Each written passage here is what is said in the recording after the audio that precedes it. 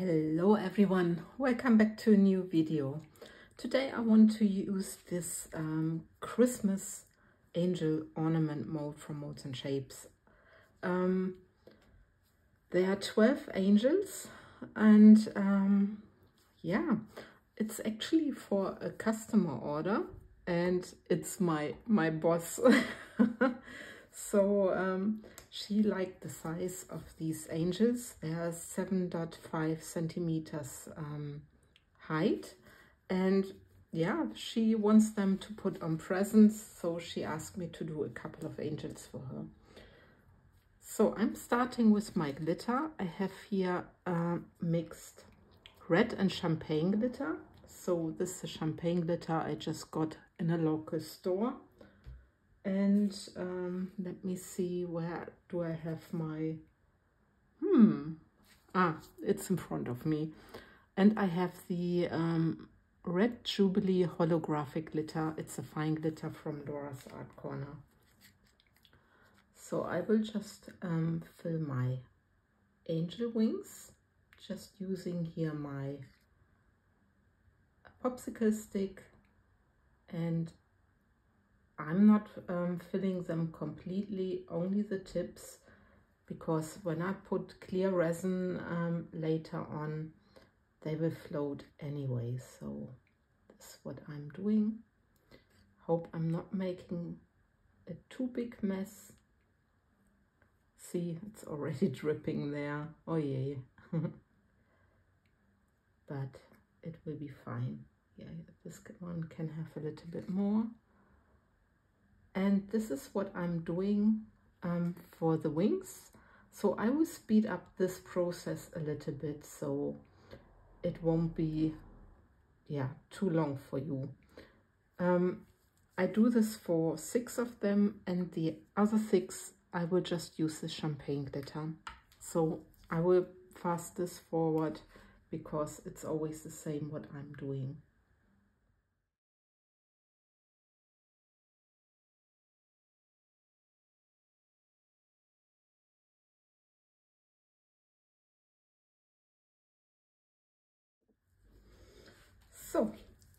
Back and what I do now, I will mix also just a tiny incy bit with some white.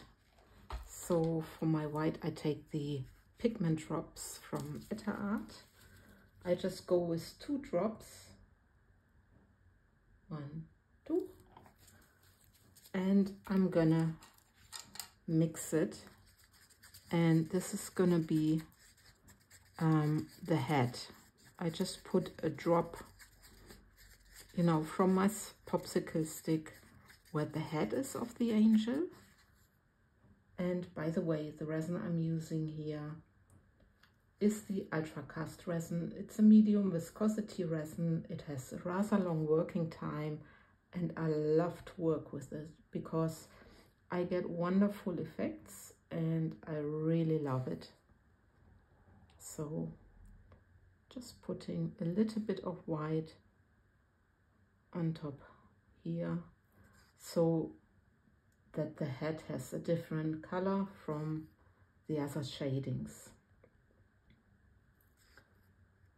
And this actually is a very easy pour so very good for beginners and also for beginners to achieve a really pretty and satisfying result. And I think this is very important when you start with a craft that you are not going to get frustrated because you cannot do the technique for whatever reason. So here's my clear resin and I'm filling up my molds rather, um, yeah, half full. So first I divide what I have from clear resin and then I see what's left and maybe I need to still put a little bit more into each mold.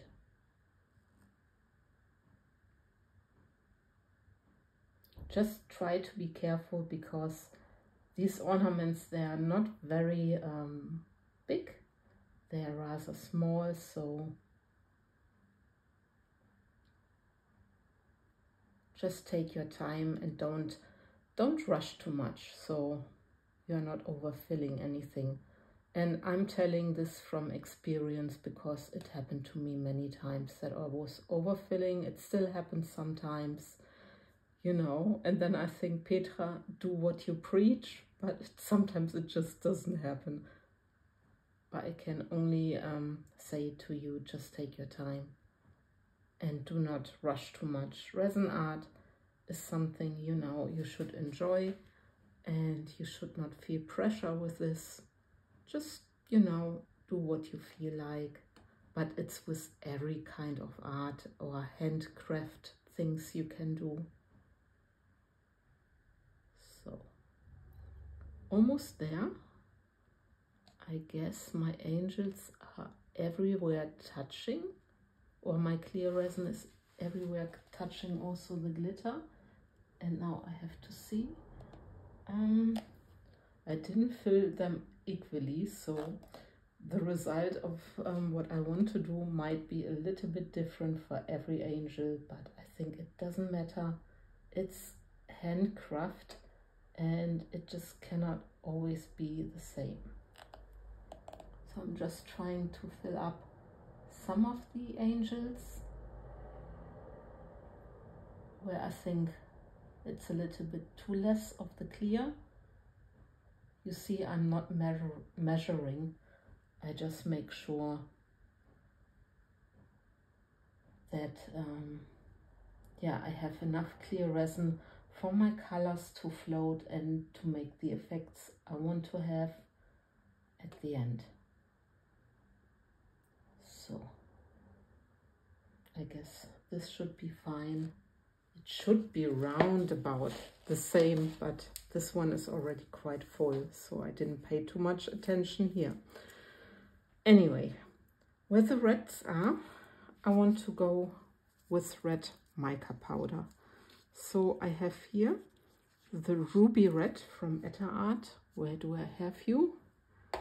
Show you. It's a wonderful, really deep red mica powder and you see it here. I just mixed a little bit and before I start pouring I really mixed it very well. With mica powder you really need to mix it very well so you are not risking that there are gonna be blobs at the end. So, and what I've not done, shame on me, I didn't check for air bubbles and now I'm seeing here some air bubbles at these bows.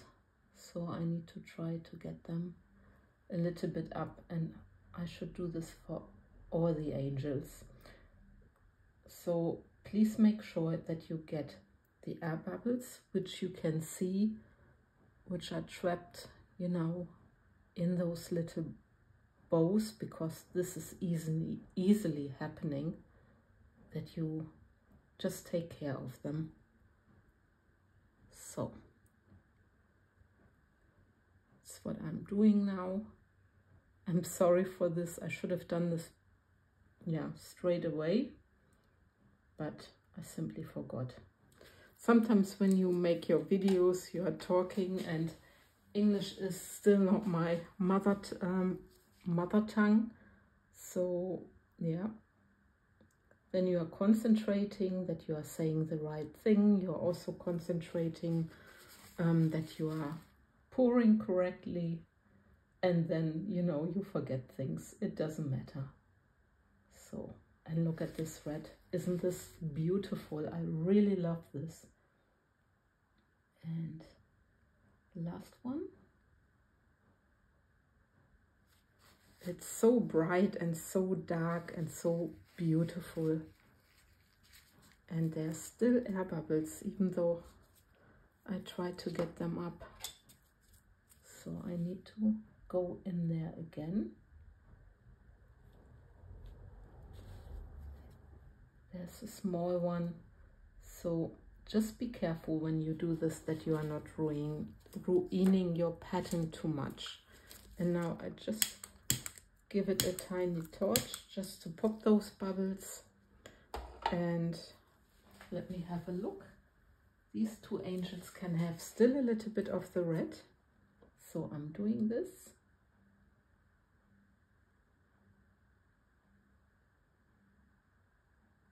Not too much, like I said, not that you overfill your mold. So this is my red. And there is also um, the red champagne wings. And here I'm taking the the white. It's an interference white from Etter Art. So I wonder what results I'm gonna get with this color. So it's a little bit like, um, how to say, um, like um, crystals in there, like an effect powder, but we will see what will happen. So I'm doing the same. And I love the um, crackle effect in those angels. It's so beautiful, I think. And I hope I can achieve it also with this. But it's always good to test different um, powders, different materials to see if you get um, similar effects. So I let this run for a while and this one can still have a tiny bit more, not too much. There also. And there also. Like I said, take your time pouring.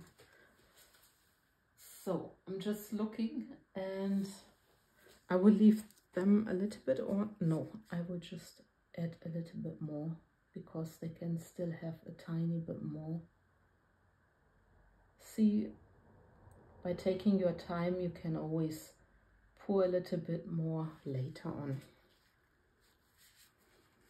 Anyway, these are already working very well and I hope they will work very well.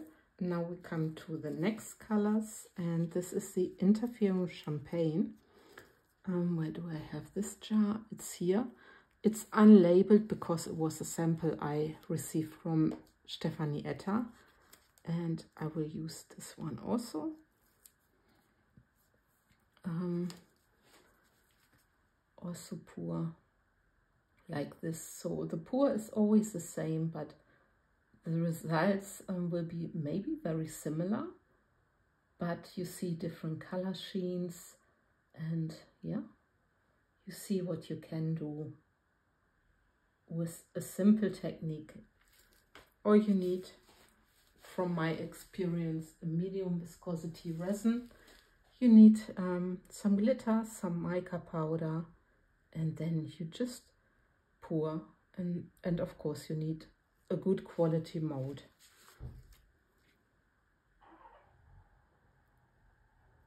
So, and now my last color and this is a chocolate brown. It's also from Etter Art, a mica powder. So let me just show you. It's also very beautiful. So, and I'm also pouring. This was a little bit um, off center. yes, you see these things are happening, but they they won't do anything any harm. I think this is also beautiful color for an angel.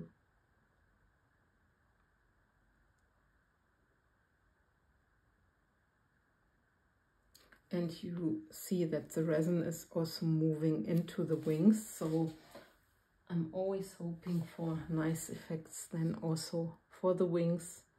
That is not just the um, glitter. I mean, you see the glitter also floating on top and this is also very beautiful. So, and this is the pour. I just let it rest and I know that the resin will be traveling downwards. So, yeah. I don't think I need to put you on a time lapse, but you see it already here. The resin is traveling and it will hopefully give nice effects. So, time for demolding and I'm very curious how these turned out. so I first get them all out like normal and then I'm curious um, with the different colors, with the different glitter on, yeah, on two types. so they pop out very good out of the mold.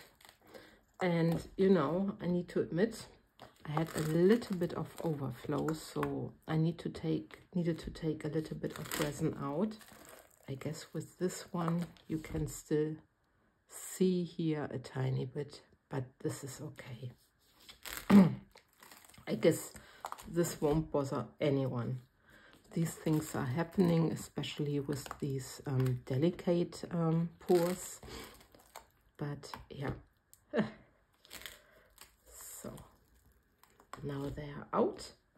And I just go color by color. Um, no, for each color. Oh yeah. And this is the first one. See there was something in my mold which I didn't see. But look at these. Really like this. Beautiful crackle effect which goes also in the wings. It's like a dress. Yeah now I'm doing all the reds. Okay Petra it's early in the morning. And actually um, after I do this video or I do the demolding, I will be off to Schorndorf where Stephanie Etter is located. So, so I'm also a little bit nervous. It will be a little bit um, driving today. So I guess I will be maybe six hours um, just for driving. That's what I need. For you Americans, six hours is nothing, I know, but for us Europeans, it's quite a lot.